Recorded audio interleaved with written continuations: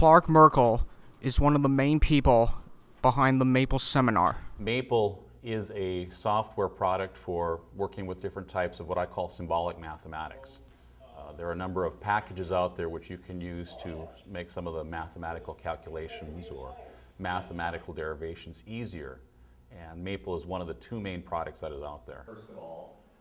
The seminars have an interesting purpose. Well, the seminars are not a, a regular thing that we're having. Um, it's right now what we're looking at as a department, or actually as a division of engineering and mathematics and computer science, that we're looking at replacing some of the existing software we have. And so the main target of this seminar is really for the people who would want to use a symbolic mathematics uh, package. And it's usually mathematicians on campus, but it can also be other people who might be doing some research which have a mathematical base, and that includes a lot of people.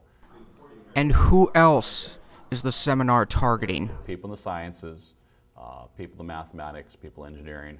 Uh, it's targeted for the faculty, but the students are also invited to come and uh, get a chance to see what some of these applications can do.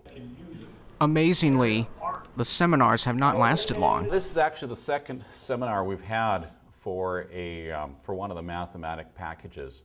Back in March, into March, we had um, one of the representatives of Wolf, Wolfram, uh, which is the maker of something called Mathematica. And uh, they're out of, um, uh, they're located in uh, Champaign, Illinois. Uh, but they were on campus and they did a presentation for their uh, symbolic mathematics package called Mathematica. Um, this is the second one. This is the other main competitor called Maple. And Maple uh, does some things a little differently, um, but we wanted to compare the two of these. Don't expect Maple to be all that easy. The clickable math system is also discussed. I don't actually know what clickable math is. One of the things a lot of these symbolic mathematics packages have been sort of panned for in the past is that they have a very steep learning curve. They're hard to learn. You have to kind of, you almost have to learn a language to, to be able to work with them. And so I think what they mean, and that's what we're going to find out in this seminar, is clickable math, I think, is addressing the problem that Maple has in the past been hard to learn. It's going to try to um, make it easier for students to pick it up and actually do useful things with it.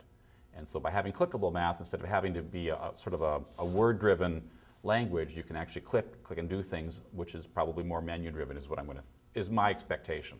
And we're going to find out because I, I, I don't know for sure, but that's what I think it is. Overwhelming, challenging, and possibly a bit alien, Maple is nevertheless a great math education package.